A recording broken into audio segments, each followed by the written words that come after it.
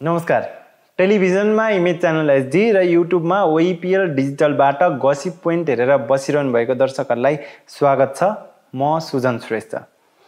नेपालमा ब्युटी प्याजेन्टहरू च्याउ उम्रिएसरी हुने गरेका छन्। तर ती ब्युटी प्याजेन्टहरू कहिले बदनाम हुन्छन् त कहिले गुमनाम। ब्युटी प्याजेन्ट जित्नेहरू इन्स्टा र फेसबुकको वालमा मात्र सीमित हुनु परेको उदाहरणहरू पनि छ। तर मिस नेपाल जित्नेहरूले भने राम्रै नाम र दाम कमाउने गरेका छन्। त्यही नामलाई लिएर उनीहरूले आफ्नो करियर राम्रोसँग अगाडि बढाइरहेका पनि छन्। यता मिस्टर नेपाल भने कहिले सकियो र कसले जित्यो भन्ने कुराको पनि अत्तो पत्तो हुँदैन। यदि तपाईँलाई पाँचजना मिस नेपालको नाम भन्नुहोस् त भनेर सोध्यो भने सजिलै भन्न सक्नुहुन्छ। तर दुईजना मिस्टर नेपालको नाम भन्नुहोस् त भनेर सोध्यो भने मुस्किल पर्छ। आज हामीसँग यही विषयमा केन्द्रित रहेर कुराकानी गर्नका लागि mister Nepal two thousand twenty टूका विजेता नूतन श्रेष्ठ हुनुहुन्छ। उहाँ ह्यान्डसम हुनुहुन्छ ट्यालेन्ट हुनुहुन्छ शालीन हुनुहुन्छ। उहाँको बारेमा यति मात्र भने बाँकी चाहिँ उहाँसँग नै कुराकानी गरौँ। सो स्वागत गरौँ mister Nepal two thousand twenty टूका विजेता नूतन श्रेष्ठलाई। नूतनजी स्वागत छ। धन्यवाद हजुरलाई। तपाईँले एउटा गीत सुन्नु भएको छ? जितेर पनि हारमा छु म भन्ने। सुनेको चाहिँ छैन। ए जितेर पनि हारमा छु म भन्ने गीत छ क्या? कहिले काहीँ फिल हुँदैन। जित्नु त भएको छ तर जति चर्चा हुनुपर्ने हो त्यति चर्चा चाहिँ भएको छैन। कस्तो हुँदो रहेछ त्यस्तो हुँदाखेरि? अब नेपाली ब्युटी पेजेन्टमा चाहिँ जब मेलको कुरा आउँछ एकदम पछाडि नै परेको छ होइन। अनि यो जितिसके पछाडि पनि योसँग जुन कुराहरूले चाहिँ आत्मसात गरेर हामीहरू अगाडि बढिरहेछौँ नि जुन अपर्च्युनिटिजहरू एकदम कम छ हाम्रो लागि त्यो कुराले गर्दाखेरि चाहिँ अघि तपाईँले भनेकै गीत जस्तै नै छ यहाँ जितेर पनि हार्नु जस्तै छ त्यही पनि जित्दाखेरि चाहिँ कस्तो महसुस हुँदो रहेछ? जित्दाखेरि त अब एक त मन त प्रफुल्ल हुने नै भयो खुसी हुने भयो होइन? अर्को कुरा भनेको चाहिँ जितेको दिनको भन्दा बाहेकको कुरा चाहिँ धेरै कुराहरू चाहिँ मैले गर्नुपर्ने रहेछ। अब अब यसको यसको लागि यो मैले जुन ताज लगाइरहेको छु त्यसको लागि चाहिँ अझै धेरै कुराहरू गर्नुपर्ने रहेछ भनेर चाहिँ मन भारी हुन्छ होइन? तर यो मेरो लागि एउटा अवसर हो। मैले यो समाजको लागि अथवा केहीको लागि चाहिँ मैले केही गर्नुपर्छ भन्ने चाहिँ मलाई आत्मबोध भइरहन्छ। के के गर्ने प्लानमा हुनुहुन्छ अब? अलरेडी पनि हामीले धेरैवटा कुरा चाहिँ गरि नै सक्यौँ होइन। अझै गर्दै नै छौँ। मैले चाहिँ विशेष गरी चाहिँ अहिले चाहिँ म अनएक्सप्लोर नेपाल भनेर चाहिँ नेपालको जुन चाहिँ पर्यटकीय क्षेत्रभन्दा बाहेक अरू कुन ठाउँ चाहिँ रियल नेपाल के हो त भनेर त्यो एउटा चाहिँ एउटा डकुमेन्ट्री त्यसमा बनाउन खोजिरहेको छु होइन? प्लस अर्को कुरा के भन्दाखेरि यो चाइल्डहरूलाई चाहिँ चिल्ड्रेनहरूलाई चाहिँ एजुकेसनल राइटहरू प्रोभाइड गर्नको निम्ति हामीले हामीले चाहिँ जनचेतना कार्यक्रमहरूदेखि लिएर अनि शैक्षिक सामाजिक वितरण वितरणहरू गर्ने कुराहरू पनि गरि नै रहेको छौँ। ओके जितेपछि फिल्महरू खेल्न पाऊँ म्युजिक भिडियो खेल्न पाऊँ ब्रान्डहरूको ब्रान्ड एम्बेसडर हुन पाऊँ भन्ने इच्छा हुँदो रहेछ कि रहेन रहेछ? र त्यो पाउनु भएको छ कि छैन? पाउन चाहिँ पाइ नै रहेको छु अवसरहरू चाहिँ पाइ नै रहेको छु। त्यो त जितिसके पछाडि त जसलाई पनि हुन्छ नि त अब यसरी मैले जितेँ अब मलाई चाहिँ के त मैले चाहिँ के गर्नुपर्ने अथवा मलाई मैले पाउनुपर्ने कुराहरू चाहिँ के हो त भन्ने त खोज त लास्ट भइ नै रहन्छ। अनि अवसरहरू पनि आइरहेको छ मुभीको लागि भयो म्युजिक भिडियोको लागिहरू भयो धेरैको लागि अवसर आइरहेको छ। म चाहिँ अहिले मिस्टर वर्ल्डको लागि ट्रेनिङमा व्यस्त भएको कारणले गर्दाखेरि चाहिँ त्यसमा अलिक ध्यान दिन पाइरहेको छैन तर जे होस् सानोतिनो चाहिँ गरि नै रहेको छु। ब्रान्ड एम्बेसडरहरूको ए भनेपछि जस्तो अफर आइरहेछ भनेपछि त्यो गर्नुपर्ने होइन र। जस्तो मिस्टर वर्ल्डमा जाँदै हुनुहुन्छ जानै पर्छ होला। तर पनि यताबाट आएको अफरहरूलाई नकारेर नगरेर त फाइदा हुँदैन होला। यस्तो हुन्छ अब समय कति दिने भन्ने हुन्छ। सानो सानो प्रोजेक्टहरू चाहिँ गरिरहेको छु मैले। सानो सानो आएको अब फोटोसुटहरूदेखि लिएर भयो अरू अरू कुराहरूमा चाहिँ सानो सानो कुराहरूमा चाहिँ मैले लागि नै परेको छु। अब मुभी नै भनिसकेपछि त्यसको लागि फुल्ली प्रिपेयर भएर फुल्ली टाइम नै दिनु पऱ्यो त्यो कारणले गर्दाखेरि चाहिँ म यता मेरो ट्रेनिङ चलिरहेको छ अहिले मिस्टर वर्ल्डको लागि। हो त्यो ट्रेनिङहरूलाई टाइम दिन पुग्दैन कि भनेर अहिले चाहिँ मैले त्यसलाई चाहिँ पछाडि नै राखेको छु। अब कुनै दिन अझै एक्टिङहरू पनि मैले सिकिरहेको छु। अब कुनै दिन चाहिँ अब अलिक खरिएर चाहिँ लाग्ने विचार चाहिँ पछि त अफर नआउन पनि सक्छ नि त अहिले पो भर्खरै मिस्टर नेपाल हुनुभयो हो यतै भएर मान्छेहरूले याद गरिरहेछन् अफरहरू आइरहेको छ। पछि त नगर्न सक्छन्। अब नगर्छन् कसरी? म यस्तो मेहनत गरेर लागिरहेको छैन। के थाहा मैले मिस्टर वर्ल्ड नेपालमै ल्याउँछु कि पहिलोचोटि?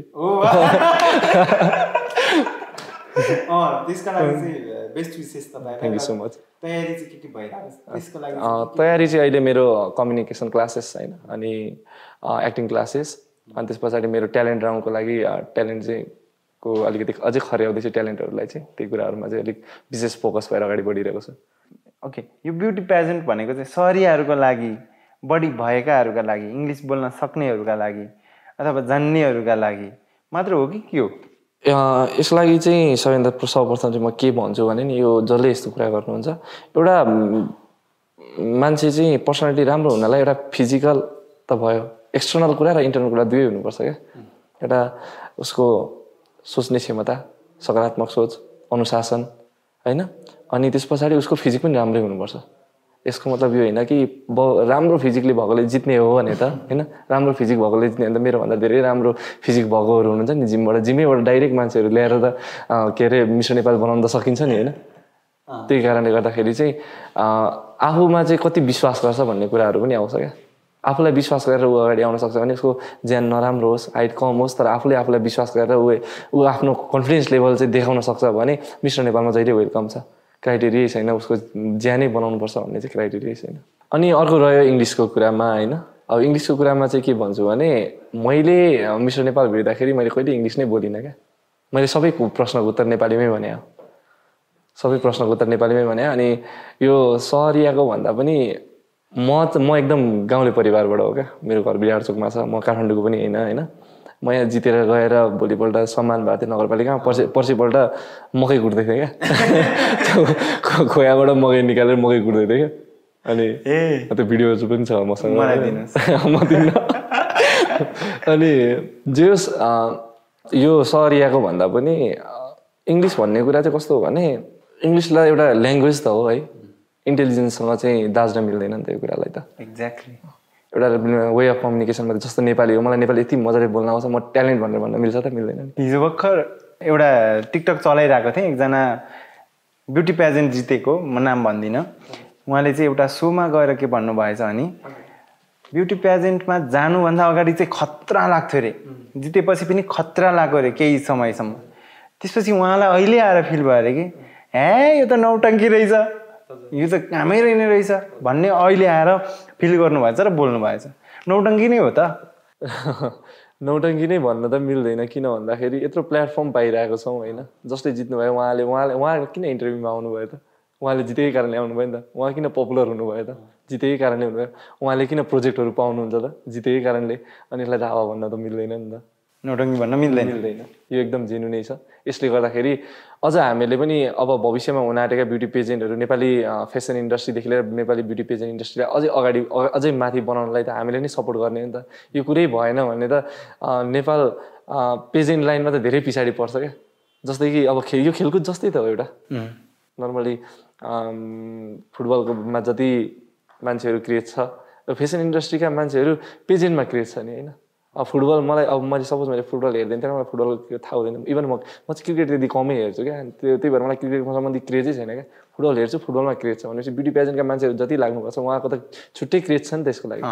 अनि यो क्रेज त जान्छ नि त। यस्तै यो एकदम नौटङ्की तरिकाको भयो भन्दाखेरि त। तर जे होस् यसले एउटा प्लेटफर्म चाहिँ राम्रो दिएको छ। मिस्टर नेपाल भइसकिसकेपछि चाहिँ नि हजुर।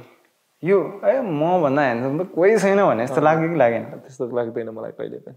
मलाई कहिले पनि कोही कोही भन्दा ह्यान्डसमको परिभाषै मलाई अर्कै लाग्छ क्या। ह्यान्डसम भनेको फिजिकल्ली नै राम्रो हुनु होइन नि त।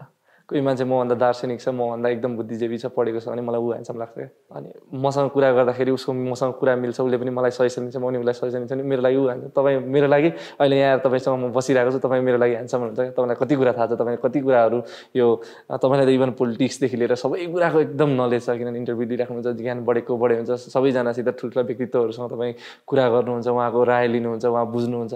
तपाईँ मेरो लागि त तपाईँ ह्यान्डसम हुनुहुन्छ नि। फिजिकल्ली पनि एक एक तरिकाले फिजिकल्ली पनि हेरिन्छ होइन। तर मलाई चाहिँ मान्छेको मस्तिष्कभित्र के कुराहरू चल्छ नि त्यो कुराले चाहिँ ह्यान्डसम फिल गराउँछ। हामी अब चाहिँ यसो प्रेम रोमान्स होइन? किनकि ह्यान्डसम हुनुहुन्छ प्रेम रोमान्सको कुराहरू त मेबी थाहा छ होला।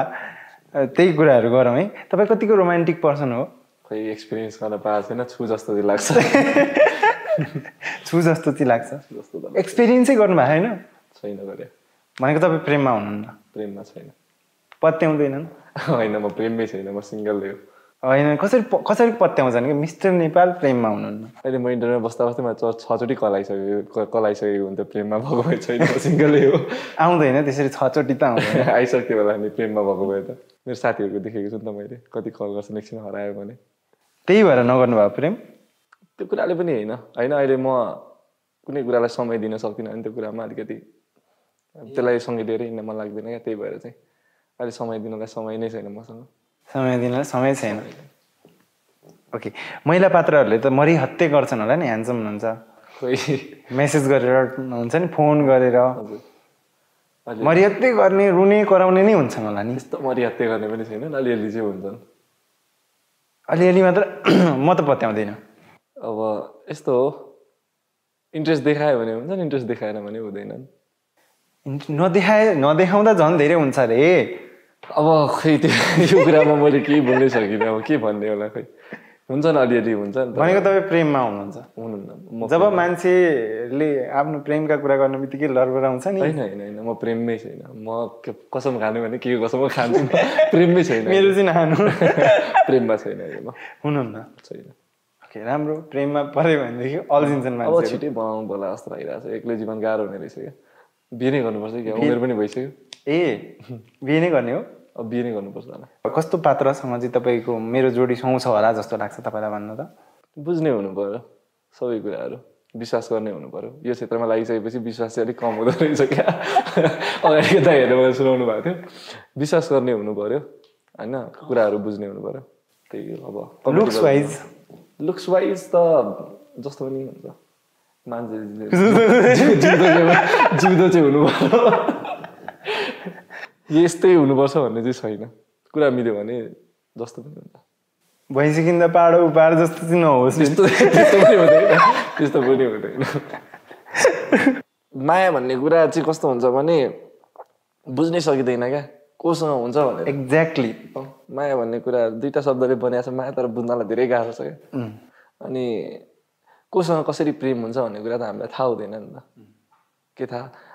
कोही कसैसँग म बुझ्नुहुन्छ तपाईँले भन्नु परिहाल्छ कि? परिहाल्छ कि त। ओके। जुन त्यो महिला पात्रहरूले तपाईँलाई मेसेज गर्नुहुन्छ नि आई लभ यु भनेर पठाउनुहुन्छ होला। त्यस्तो अहिले बिच लेखेर पठाउनु भएको छैन अहिलेसम्म कसैले पनि। यो त मान्दिनँ मलाई आउँछ यार तपाईँलाई कसरी आउँदैन। मलाई आएकै छैन। मलाई अहिले लेखेर त मैले ढालेँ होइन कसैले आएकै छैन क्या मेसेजै आएको छैन। आएकै छैन। होइन हाई हेलो कङ्ग्रेचुलेसन भनेर आउँछ है। तर आई लभ यु नै भनेर चाहिँ खोइ कसैले पठाउनु भएको छैन। भनेको तपाईँको त्यो कनेक्सनको इन्ट्री नै दिनुहुन्न जस्तो छ। इन्ट्री कसरी चाहिँ दिने त भन्ने कुरा हुन्छ कि अब। बोल्न बो बोल्दै मात्रै भने इन्ट्री दिए हो कि? बोल्न त बोलिरहेको हुन्छु। कोही कोहीले मेसेज गर्नुहुन्छ कङ्ग्रेचुलेसन भन्नुहुन्छ नचिनेको चिनेको सबैजनाकोमा रिप्लाई गरिदिरहेको हुन्छ। यसरी अब कङ्ग्रेचुलेसनमा त के छ र? मेरो मेसेज रिप्लाई गरिदिनु त सक्छु नि। अब त्यो मैले इन्ट्री दिए हो होइन त्यो त मलाई थाहा छैन। त्यसरी आई लभ यु नै डाइरेक्ट भन्ने त अलिक हुँदैन न हौ। कसैले चाहिँ दिनै पछि फलोअप गरिरह हुन्छन् क्या। तपाईँले इन्ट्रेस्ट देखाए पनि नदेखाए पनि खाना खानुभयो कि खानु भएन? होइन? हुन्छ सन्चो छ कि नसन्चो? टेक केयर टाइप्सको त्यस्तो आउनेहरूलाई चाहिँ कसरी रेस्पोन्स गर्नुहुन्छ तपाईँले? त्यो हेर्छु हेर्छु म कतिसम्मको छ भनेर। नर्मल कुराकानी छ भने नर्मल कुराकानी गरिदिन्छु म है। तर अलिकति अलिकति प्रे त्यो हुन्छ नि छ भने चाहिँ अलिक क्रिन्ज टाइपको छ भने चाहिँ मलाई त्यो अलिकति उयो लाग्छ क्या क्रिन्ज लाग्छ क्या। अनि त्यही भएर रिप्लाईहरू म त्यति गर्दिनँ। ओके अब हामी सुरु गरौँ ऱ्यापिड फायर राउन्ड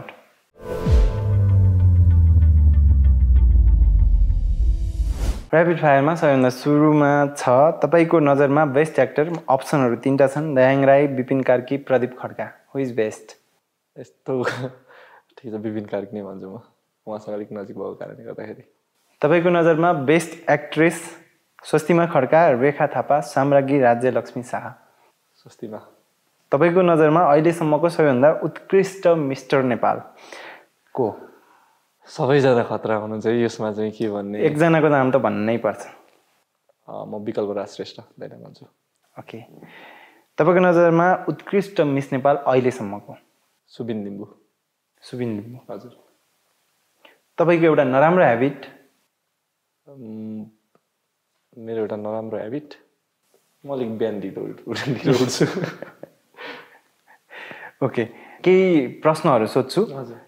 छ वा छैनमा उत्तर दिनुपर्ने हुन्छ। कहिले काहीँ एक्सप्लेन पनि गरौँला। ए हुन्छ हस्। हस्। कसैको झुटो तारिफ गर्नुभएको छ? छ। किन? के परेको थियो त्यस्तो? कस्तो हुन्छ भने नि कुनै कुनै ठाउँमा चाहिँ झुटो तारिफले धेरै काम गर्दो रहेछ क्या। ए अँ। कुनै कुनै सोडा कुनै कुनै- मान्छेको व्यक्तित्वलाई चाहिँ झुटो तारिफ गर्यो भने काम बन्छ क्या। अँ। त्यो कुरामा चाहिँ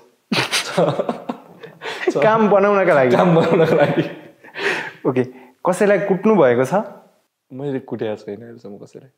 ओके मम्मीले भनेको नमान्दा पछुताउनु भएको छ? छ। ओके गर्लफ्रेन्डलाई झुट बोल्नु भएको छ? गर्लफ्रेन्डै छैन। खासमा मैले सोध्नु चिप्लिनुहुन्छ कि छैन ओके इक्जाममा चिट चोर्नु भएको छ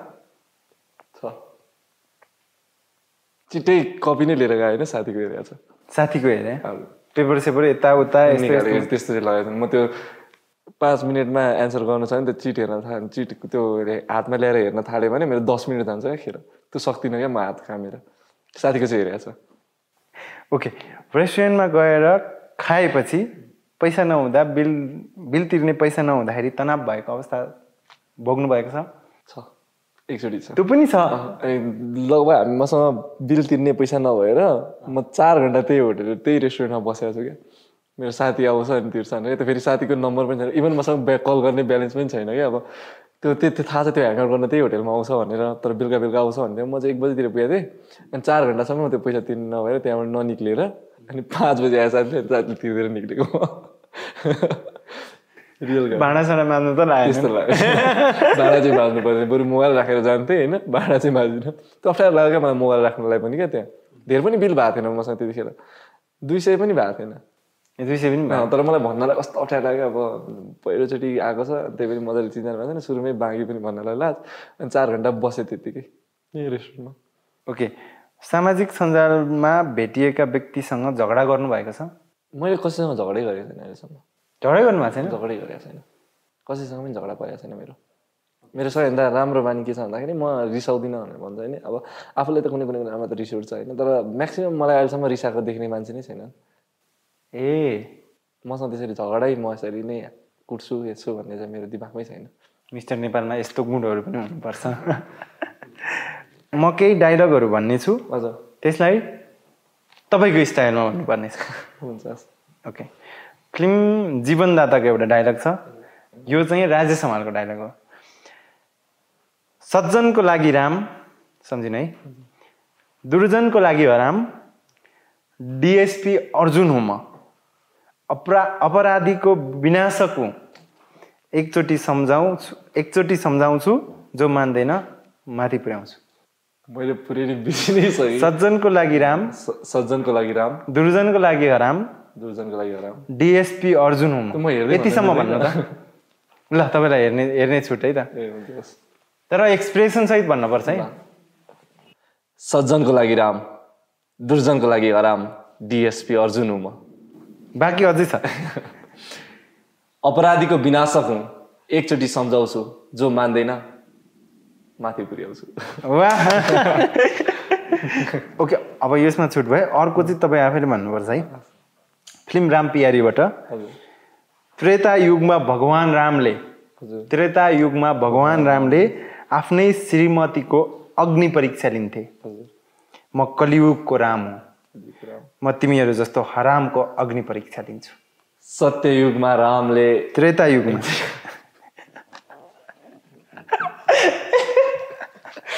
ओके। त्रेतायुगमा रामले आफ्नै श्रीमतीको श्रीमतीको अग्नि परीक्षा लिन्थे। सत्ययुगमा रामले आफ्नै श्रीमतीको अग्नि परीक्षा लिन्थे। म सत्ययुगको राम हो। तिमीहरू जस्तो दुर्जनको अग्नि परीक्षा लिन्छु। म सत्ययुग सत्ययुग भयो म कलियुगको राम हुँ।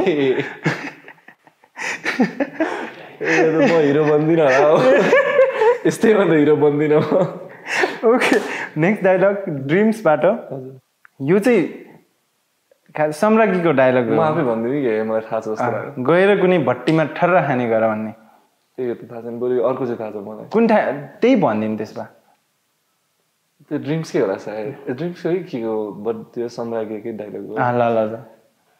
तिमी त बानी परेका मान्छे but you are my first love हो।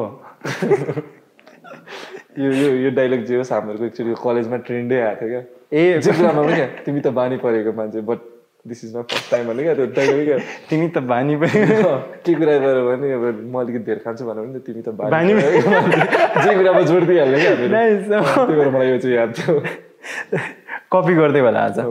ओके म यो डाइलग पनि भन्छु है यो इन्ट्रेस्टिङ हुन्छ होला सायद।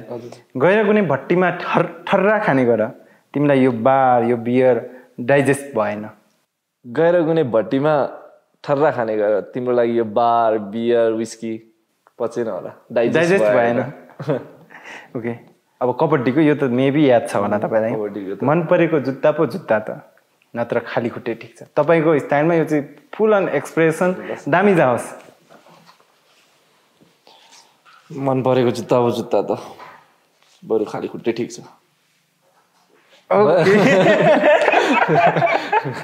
नाइस भर्खर एक्टिङ सिक्दैछु क्या म। सिक्दै हुनुहुन्छ? हजुर। ल भनेपछि अब फिल्ममा पनि भयङ्कर त्यो धाँसु हुनु गर्नेवाला अब हेरौँ। अब कति चाहिँ यसमा म भिज्न सक्छु अब? त्यही अनुसार गर्छु अगाडि बढ्छु। नेपाली फिल्म कतिको हेर्नुहुन्छ तपाईँ? नेपाली फिल्म भन्दा पनि म धेरै अगाडि हेर्थेँ अनि जे होस् अहिले ट्रेन्डिङमा रहिरहेकोहरू मात्रै त्यति हेरिरहेको छु क्या मैले। अब सबै हलमा गएर हेर्नुहुन्छ कि हलमा गएर मैले कबड्डी हेरेँ होला अनि लुट त्यस्तै त्यस्तै। जे होस् मैले चाहिँ रिभ्युजहरू चाहिँ पढ्नै रहेको हुन्छु तर त्यसरी हलमै गएर चाहिँ अलिक कमै हेर्छु। तपाईँको भर्खरै मैले एउटा ट्याटु देखेँ। हजुर हजुर यो के हो यो? यो मण्डला हो। मण्डल। हजुर। ए यो जस्तो ट्याटु बनाउनु अगाडि चाहिँ मान्छेहरूले धेरै सोध्छन् हजुर हजुर। तपाईँले चाहिँ कति सोच्नु भएको थियो? अँ मेरो यता चाहिँ डेडी र मम्मीको फोटो छ यहाँ ए। हजुर अँ डेडी र मम्मीको देखाउनलाई माथि सारेर देखाउन मिल्छ? अलिक देखिँदैन होला है अलिक टाइट टाइट छ बाइसेप ठुलो भएछ क्या? यहाँ छ सर्ट नै खोल्नुपर्छ। सधैँ खोल्नुपर्छ। यहाँनिर डेडी मम्मीको ट्या ट्याटु छ। अनि यो चाहिँ यहाँ तलतिर चाहिँ मण्डला छ क्या। यसको मिनिङ के भन्दाखेरि बु मण्डलाको मण्डला चाहिँ एउटा युनिभर्स रिप्रेजेन्ट गर्छ क्या। अनि डेडी मम्मी भनेको एउटा युनिभर्स नै हो भन्ने टाइपको त्यही भएर मलाई रिग्रेट लाग्दैन। मैले त्यो कतिजनालाई चाहिँ ट्याटु हानिसकेपछि रिग्रेट लाग्छ नि है। अनि किन हाने होला भन्ने। मैले एकदम यो हानिसकेपछि यो हाने हो। त्यही भएर मलाई रिग्रेट लाग्दैन। एकदम म खुसी छु यो ट्याटुमा खुसी हुनुहुन्छ। हजुर। ओके। र हाम्रो ऱ्यापिड फायर चाहिँ यहीँ सकिएको छ। र अब हामी सुरु गर्दैछौँ। टफ टाइम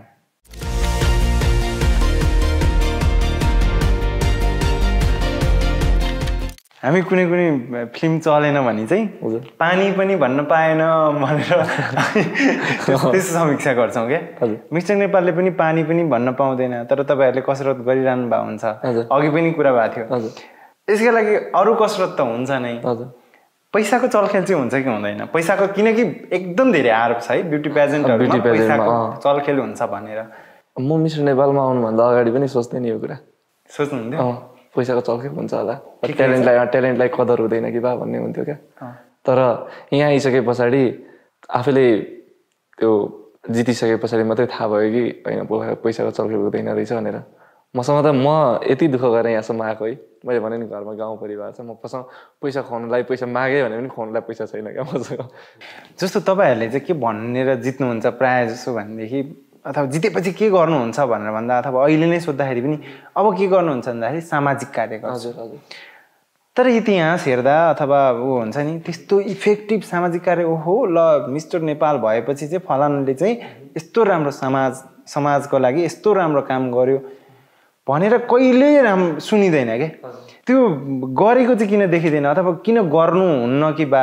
अथवा गरेर पनि नदेखिया हो कि? यस्तो हुन्छ अब पहिला पहिलाको तपाईँलाई पनि याद होला नि। पहिला पहिला कस धेरैजनाले मिस्टर नेपाल भइसकेपछि अथवा हुनुभन्दा अगाडि त्यही नै भन्ने नै त्यही रहेछ होइन? सबैको भन्ने चाहिँ के रहेछ भनेदेखि म मिस नेपाल अथवा मिस्टर नेपाल भएपछि समाजका लागि यो गर्छु त्यो गर्छु फलानु गर्छु तिलानु गर्छु। तर केही गर्नुहुन्न? अब यसमा चाहिँ के भन्छु भने अघि तपाईँले मलाई भन्नुभयो नि जुन मिस्टर नेपालको हाइप किन कम छ त भनेर भन्नुभएको थियो नि। त्यो कुराले पनि होला क्या।